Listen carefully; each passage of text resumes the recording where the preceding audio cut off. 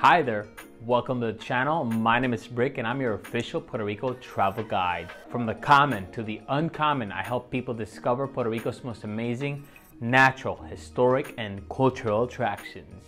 And today I'll give you a complete guide of what is known as the indigenous capital of Puerto Rico, the municipality of Jayuya.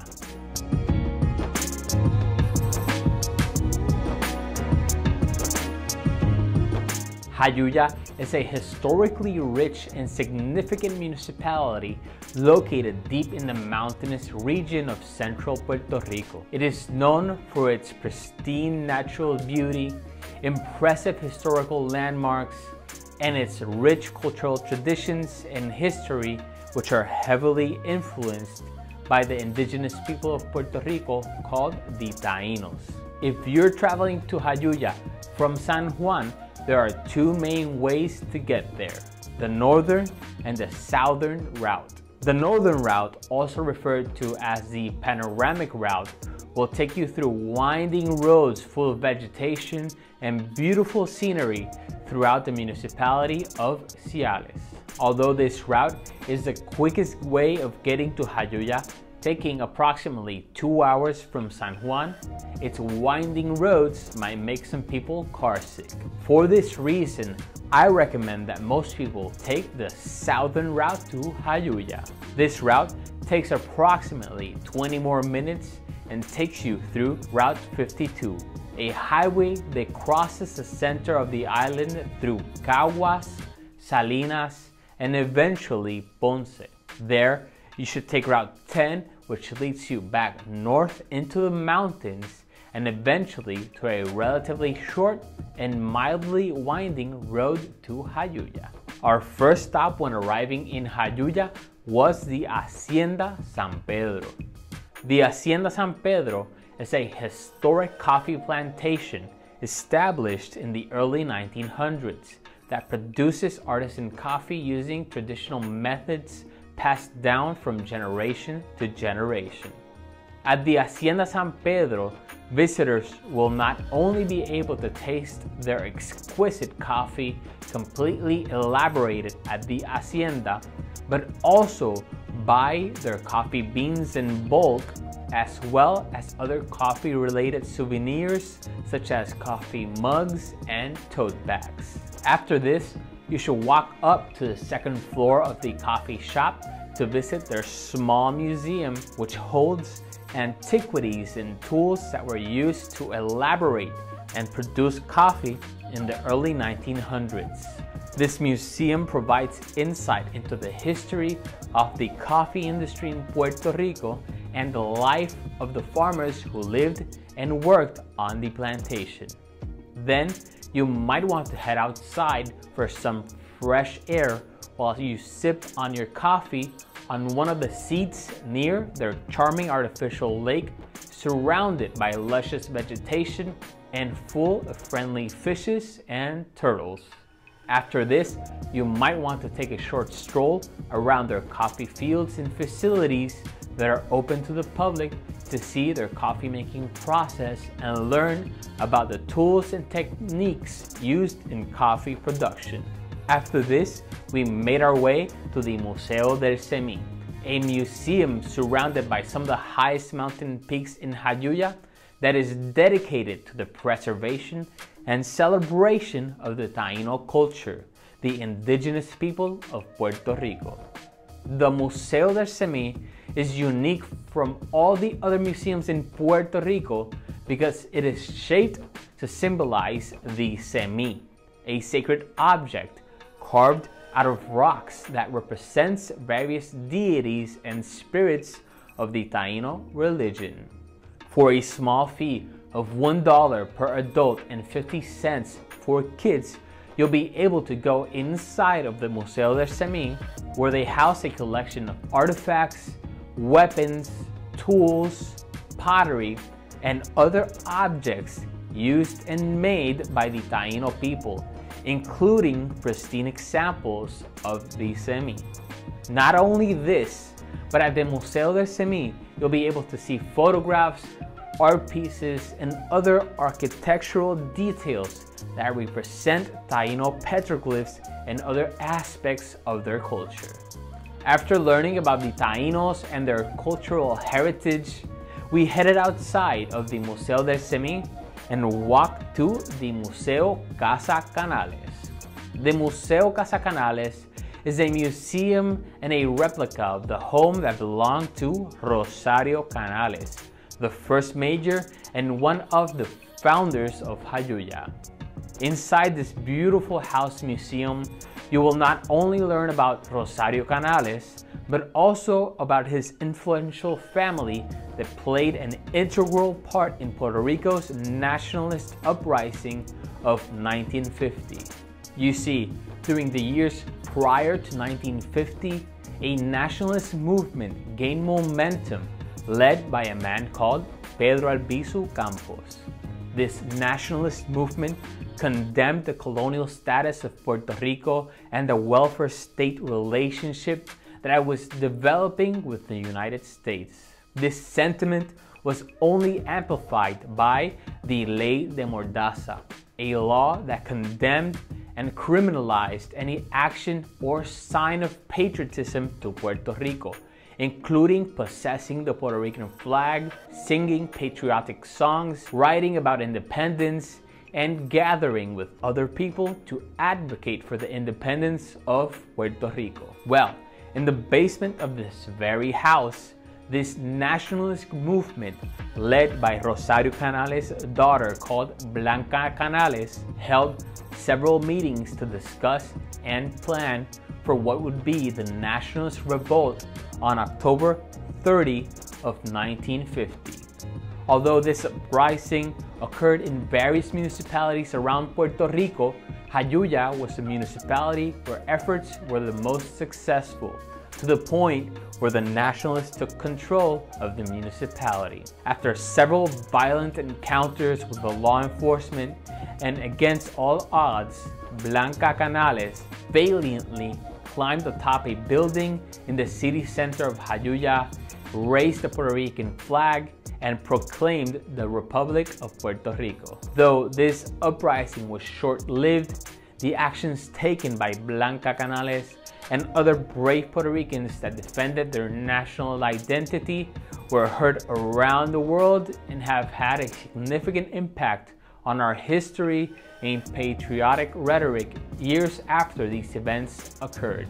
Inside of the Museo Casa Canales, you will have the chance to see all kinds of memorabilia and items used during the revolution, including photos of Blanca Canales, a purse used as evidence to incriminate her after the revolt, and bills intended to be the official currency of the Republic of Puerto Rico.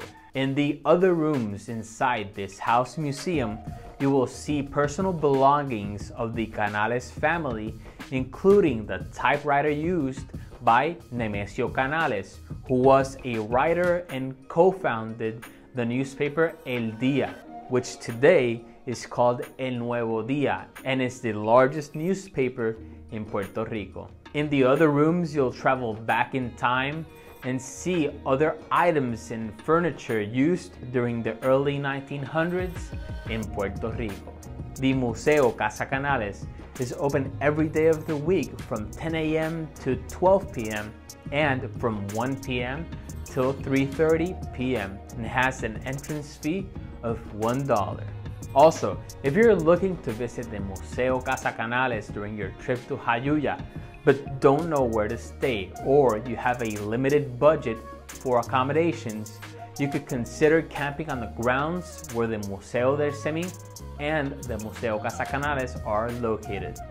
To do this, you have to contact the administration office during their operating hours and reserve your space with a camping request. For those interested, I'll leave their contact information in the description below. After visiting the Museo del Cemí and the Museo Casa Canales, it's time to take a short drive and make an obligatory stop at one of Jayuya's and Puerto Rico's most iconic and beautiful archaeological sites, La Piedra Escrita. La Piedra Escrita which translates to the written stone, is an impressively large boulder located in the middle of a river that is unique because it is covered with numerous Taino petroglyphs. To visit La Piedra Escrita, you simply park your car in this spacious parking area and walk down the wooden boardwalk that leads you to the riverbed. From there, you can jump straight into the freezing water of the Saliente River and admire La Piedra Escrita, which seemingly blocks the flow of the river with its humongous presence. Or you can make your way to the top of the rock to get a closer look at the gorgeous Taino petroglyphs that symbolize aspects of their indigenous culture. The significance of these petroglyphs in telling the story and life of the Tainos and their culture led La Piedra Escrita to be recognized and added to the U.S. National Registry of Historic Places in 2003. And not only do you get to come face to face with history at La Piedra Escrita, but you also get a chance to have a lot of fun by carefully sliding or jumping into the natural pond created in front of La Piedra Escrita. After spending some time swimming around in La Piedra Escrita, it is now time to get yourself a hefty dinner before continuing your adventure by visiting Aguzao Resto Bar. This restaurant is artfully painted and decorated with traditional items and symbols of the Puerto Rican culture, such as the beautiful flamboyant. Aguzao has spacious indoor and outdoor seating areas where you'll be able to admire the peaceful mountainous landscape of Jayuya and the Saliente River which runs directly behind the restaurant. Now, when it comes to food, we decided to try two traditional dishes from their appetizer menu the first was papas rellenas, which are mashed and fried potatoes filled with meat. The second dish was barriguitas de vieja, which are mashed pumpkin fritters that are soft on the inside, crunchy on the outside, and taste deliciously sweet all around. As for the main dishes, we went with cube steak with a side of mashed root crops and also asopao de camarones, a delicious traditional Puerto Rican stew that is made with sofrito, adobo seasoning, rice, and is perfect for the cold weather of Jayuya. We paired these flavorful dishes with one of Puerto Rico's most iconic drinks, La Piña Colada, a frozen drink or cocktail made with pineapple juice and cream of coconut. After this delicious meal, we headed over to the central plaza of Jayuya for the main reason we were in the municipality, to see the Festival Nacional Indígena. The Festival Nacional Indígena is a yearly week-long festival held in Jayuya during the month of October that commemorates and celebrates our Aboriginal Taino heritage. The festival features a variety of cultural activities, including contemporary and Taino music, dances, and performances. At the Festival Nacional Indígena, you'll also be able to shop for souvenirs at their artisan fair where you'll find all kinds of items such as traditional candy, musical instruments, jewelry, and art pieces deeply influenced by our Taino heritage and Puerto Rican culture. While you're there, you don't want to miss the opportunity to explore the Plaza Pública de Jayuya and all of its monuments and historical buildings. During our time here, we first visited La Escalinata de Jayuya, a colorful stairway decorated with gorgeous mosaics and inscribed with the names of Puerto Rican municipalities that were derived from the Taino language, including the names of the Taino tribe chiefs called caciques. At the very top of this staircase, you'll find a bust honoring one of the most important Taino chiefs, the cacique Jayuya, which the municipality of Jayuya derives its name from. Behind this monument, you will also find the Tumba del Indio, a tomb with the remains of a Taino resting in fetal position accompanied by some personal belongings to aid in the afterlife.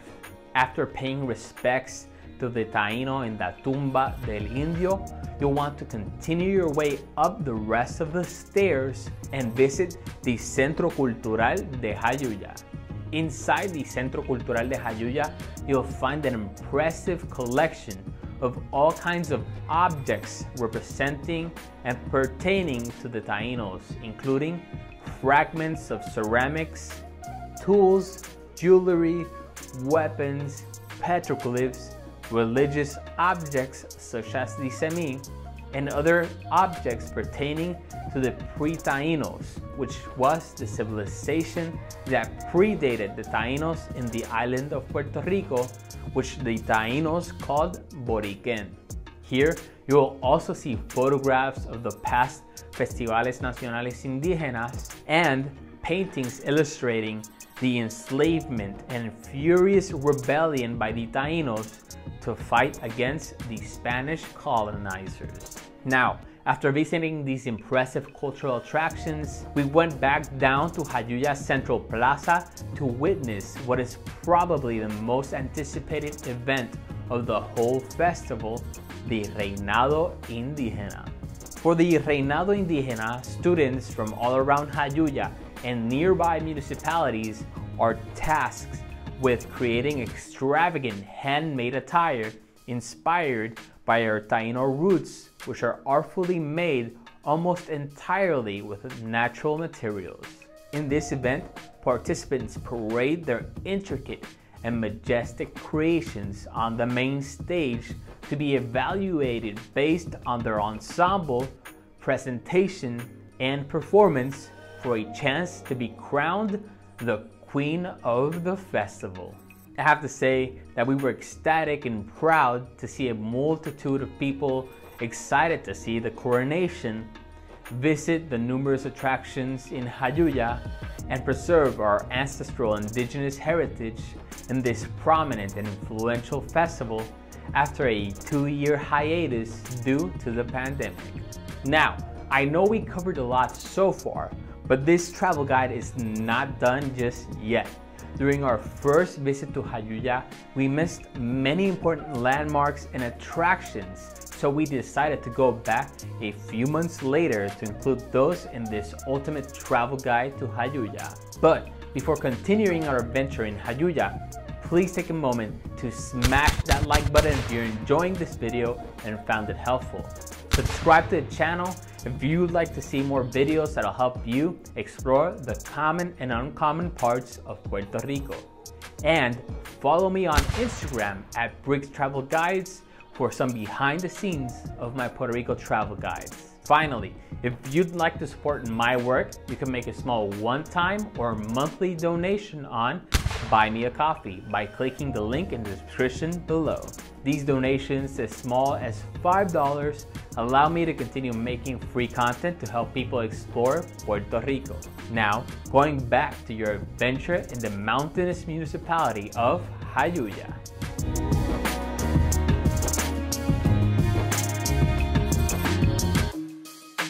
On our second trip to Jayuya, we decided to stay a weekend in Hacienda Victoria Lucia.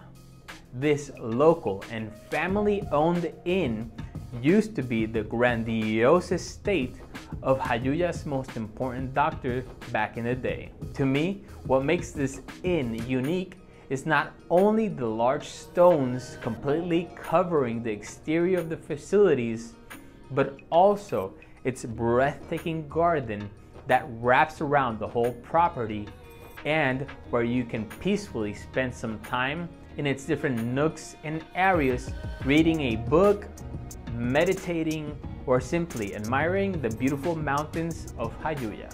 Hacienda Victoria Lucia also has other amenities like a refreshing pool to jump into on a hot summer day and a full-sized restaurant called Doña Benita that is the perfect place to have a dinner date.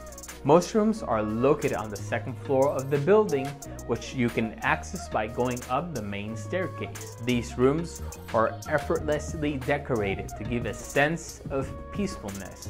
And if you're lucky like us, you might receive a small welcome gift and letter from the friendly staff. Also, when making a reservation, be sure to inquire about the availability of the rooms that feature charming balconies with views of the perfectly landscaped garden and the mountains of Jayuya.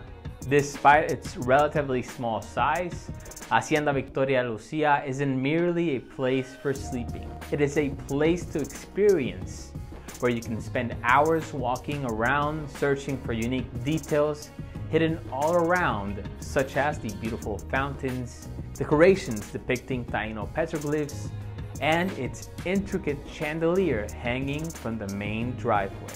We can truly say that we enjoyed our time staying in Hacienda Victoria Lucia, so if you want a similar experience while visiting Jayuya, check out the description below where I've placed their contact information and other alternatives for accommodations in Jayuya.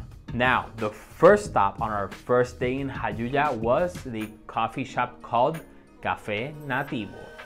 To get to Café Nativo from the main street, you'll need to drive up a steep road that leads you to a spacious parking area. From there, you might need to hop onto one of their off-road carts that take you all the way up to their picturesque cafe nestled on the hillside of their farm. Here, you'll be seated on their wooden deck overlooking the luscious landscape surrounding the cafe and get a chance to taste their 100% locally sourced coffee from Jayuya, which pairs perfectly with their delicious brunch options. If you're a coffee lover, make sure to check out their small gift shop where you can purchase coffee themed t-shirts and bags of their locally grown coffee to take home. Then, after finishing your breakfast and before heading back to your car, you might want to walk down the road to explore their cozy seating area where you can connect to nature and enjoy the sounds of the forest. After leaving Café Nativo, we headed towards the Central Plaza to visit the Tourism Information Center Tu Centro Jayuya. Even though I had visited Jayuya in the past and done my research, we wanted to pass to Centro Jayuya to get a local's perspective what were the best places to see and visit during our trip to Jayuya. At Tu Centro Jayuya, the friendly staff can also give you up-to-date information and even help you coordinate guided tours of the attractions in the municipality. At this information center, as well as right across the street, you'll be able to take photos with colorful paintings and murals depicting the iconic Jayuya flag, some of its most popular touristic attractions, its beautiful landscape, and the symbols used by the Tainos in their petroglyphs and culture. After taking many vacation photos, we decided to take a short walk to see Jayuya Central Plaza during the daytime. And we're glad we did because without the large crowd of the Festival Nacional Indígena, you can really appreciate the details in this beautiful public plaza, including its stunning church, the statue of Nemesio Canales, and the ever-present Taino symbols, in this case, the Sol de Jayuya or the Sun of Jayuya. We also took this time to revisit the Escalinatas de Jayuya to see its colorful mosaics brightly shimmering during the daytime. While you're here, I highly suggest you take a short walk to see the Puente de Mosaico, a stunning bridge that connects the central plaza of Jayuya to the neighborhoods on the opposite side of the impressive Rio Grande de Jayuya. As you can see, this bridge is decorated with a colorful mosaic that spans the whole length and depicts the different natural landscapes, rivers, and flora of Puerto Rico. If you like this view, you might also want to take a short walk to visit the Puente de Hierro, an iron bridge located a short walk from the Puente de Mosaico. From here, you'll also have a breathtaking view of the city center, the Rio Grande de Jayuya, and the stunning Puente de Mosaico.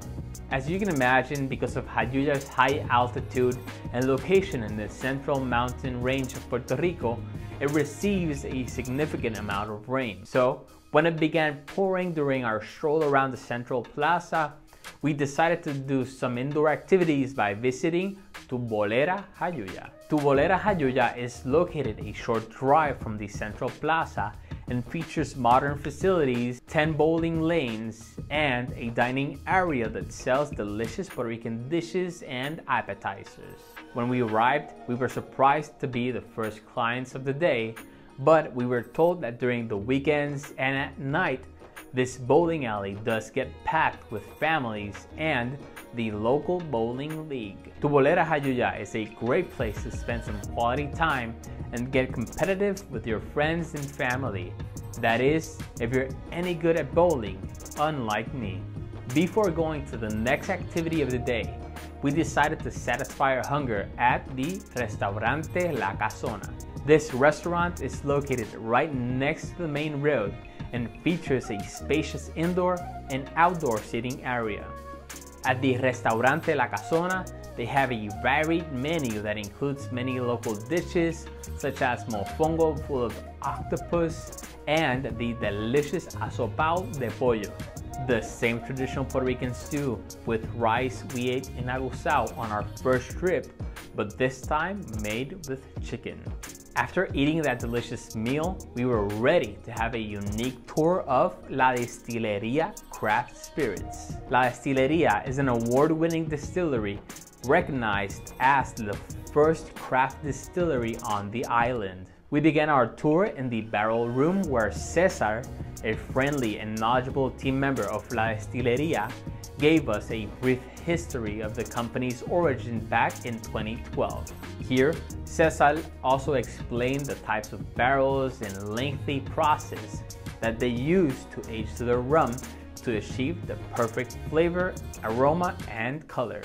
After this, we passed to their main production area where we saw all types of equipment used to test and experiment with the spirits they produce and where the large distilling stills are located. Here, Cesar was kind enough to give us an in-depth explanation of their distilling process and how every part of the rum making equipment plays an important role in creating the perfect end product. And talking about end product, after the tour of their production facility, we had the chance to actually try their rums and spirits in their tasting room. Here, we were able to taste their complete and varied portfolio of award-winning high-quality spirits, including their artesano white and aged rum, their boique spiced rum, and their 106 strong rum, which is used to make old fashions and other cocktails in many famous bars around Puerto Rico, such as the world famous La Factoria in Old San Juan. During this tasting, Cesar gave us some important tips and tricks on how to distinguish the differences between each type of rum and encouraged us to analyze the process and ingredients that went into making these craft spirits. The last product we tasted was their Pito Rico Pitorro, a Puerto Rican version of moonshine that they produce as their base 106 white Pitorro and also in various flavors made with natural fruits from Puerto Rico including coconut, passion fruit, and tamarind. After finishing this tasting, I have to say I'm not surprised that La Destilería's varied portfolio of high-quality craft spirits have won a combined 14 prestigious medals at the ADI International Spirits Competition and the Ascot Awards. If you want to book this unique tour or rum tasting experience by La Destilería in Jayuya, make sure to check out the description below where I've placed a direct link to their website. After our fascinating tour of La Destilería, we headed back towards the city center of Jayuya to visit a place that many locals recommended, the Proyecto Ulpiana Bar. This incredibly charming bar has a lively outdoor seating area and an indoor area that is characterized by its proud decoration of the deep-rooted nationalist and independence movements in Jayuya and Puerto Rico. On the walls, you'll see books, paintings, and photographs of many notable historical figures of the movements and of Jayuya back in the day. Here, you'll be able to relax in their mezzanine while reading one of their many books and sipping on their flavorful cocktails surrounded by history. After leaving Ulpiana, we roamed around the city center of Jayuya and not only encountered many beautiful murals painted on the side of buildings displaying the pride that Jayuyanos have for their municipality, but we were also excited and surprised to find plaques fixed on the side of buildings where historical events took place, such as this plaque where Blanca Canales raised the Puerto Rican flag for the first time and proclaimed the Republic of Puerto Rico, as well as this other plaque on this building that used to be a U.S. Postal Office that was burnt down during the Nationalist Revolt of 1950 as a form of protest against the presence and influence of the US in Puerto Rico. If you want to read these plaques and visit these historical places yourself, I've placed their location in the description below. After an extremely long, tiring, yet exciting day in Jayuya, we went back to our room at Hacienda Victoria Lucía to take a shower, rest, and dress up for a romantic dinner date at their in-house restaurant, Restaurante Doña Benita. Restaurante Doña Benita is the perfect place to try traditional Puerto Rican dishes and appetizers such as queso frito or fried cheese with guava sauce and trifongo, after this delicious meal and chocolatey dessert, we decided to take a quick stroll around Hacienda Victoria Lucía's beautiful dim lit garden to relax and take in all the unforgettable memories we had created on this jam-packed day at the incredible municipality of Jayuya.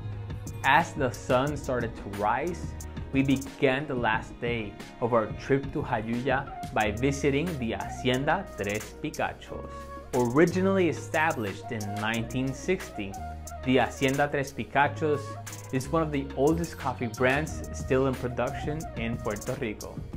As soon as you step foot inside their property, you get a sense of going back in time to a traditional coffee hacienda with its huge and impressive water mill, a traditional white horse carriage, and even a small museum that holds antiquities such as farming tools, traditional record players, old radios, and even artifacts belonging to the Taínos and other indigenous civilizations of Puerto Rico.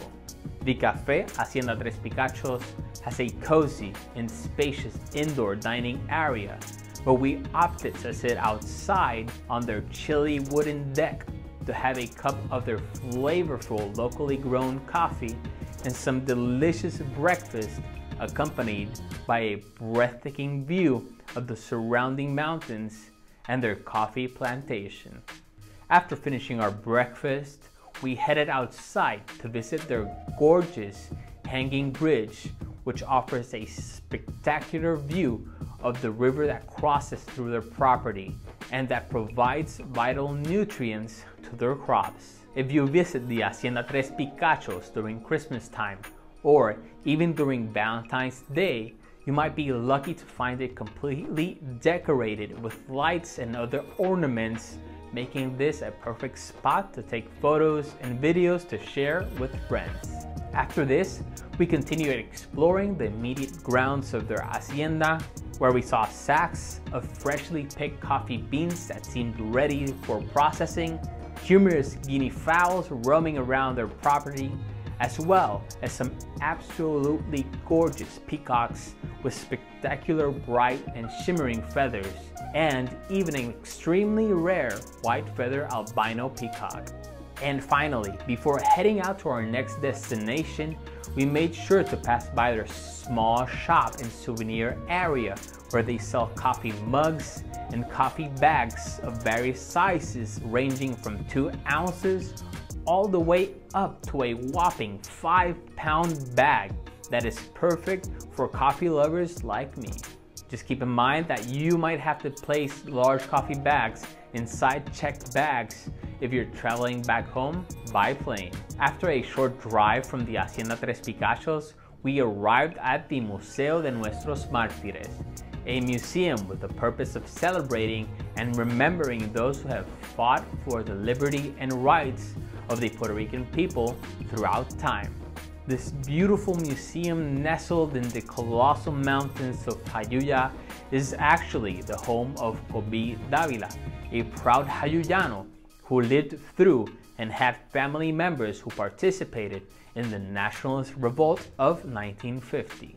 Kobe was kind enough to give us a walkthrough of the museum to show us the collection of numerous photographs, posters, illustrations, and other historical items from different moments in history when Puerto Rican people fought for their rights and freedom. Here, we learned about the Puerto Rican independence movement against the Spanish rule that eventually led to the Grito de Lares uprising in 1868 the horrific moment where Puerto Ricans lost their lives during the Masacre de Ponce and the Masacre de Rio Piedras, we saw photographs of important historical figures such as Pedro Albizu Campos, Blanca Canales, and other Puerto Rican revolutionaries.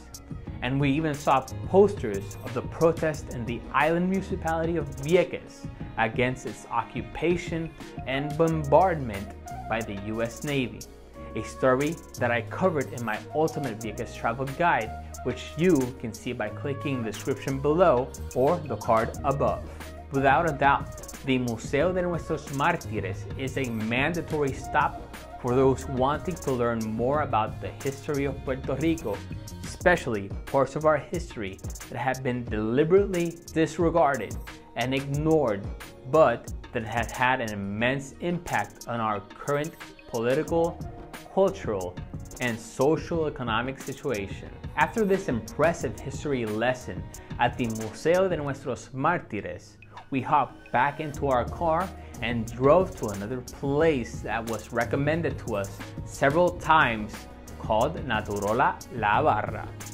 Naturola La Barra is a charming bar secluded deep in the mountains of Jayuya, making it the perfect place to disconnect, come closer to nature, and momentarily enjoy living a simpler life. At Naturola La Barra, you can enjoy eating authentic Puerto Rican flight fritters such as bacalaítos and alcapurrias, which are cooked in their rustic kitchen area and fogon placed near the creek that runs next to their property. Here, we decided to eat some delicious barriguitas de vieja, chicken and beef empanadillas, drink their fruity mojitos, and taste their juicy sliders with sweet potato fries and mayo ketchup. After enjoying the silence and looking out towards the luscious green landscape surrounding Naturola La Barra, we decided to pay a visit to the Bosque de los Pinos in Jayuya. This pine tree forest, located just a short walk or drive away from Naturola La Barra, is the perfect place to immerse yourself in nature, enjoy the presence of the colossal pine trees, and listen to the sound of the forest, birds chirping, and the soothing rustle of the leaves. This serene and tranquil forest creates the perfect environment to relax and reflect on the great memories you've created during your trip to this wonderful municipality. But before heading out of Jayuya, we needed to make one last stop at the themed bar called La Bodega de las Brujas.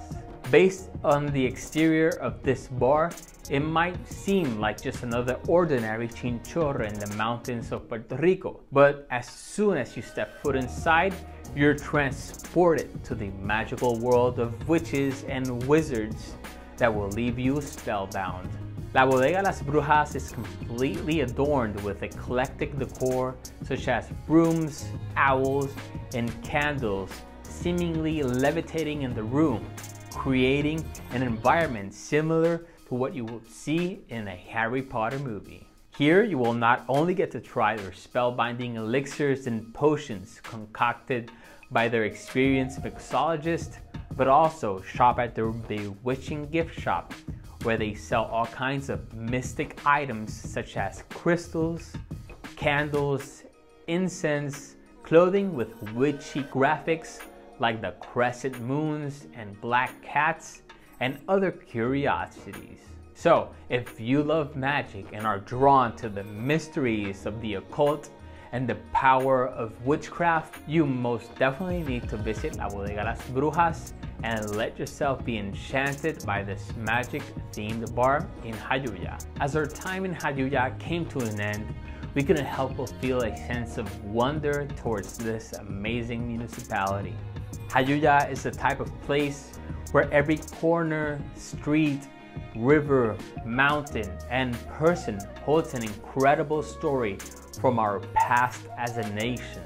This is a place where you might unknowingly pass by an unassuming building without realizing the profound importance it had at some moment in time. A place with pristine natural landscapes that were sacred to our indigenous Taíno ancestors whose traditions, history, and culture live on to this day thanks to the determination and dedication of the people of Jayuya, a place that played a monumentally important role in our history in shaping the Puerto Rico we live in today, and a place that surpassed our expectations and captivated our hearts.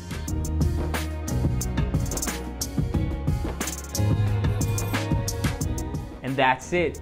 Thank you guys so much for sticking around till the end of the video.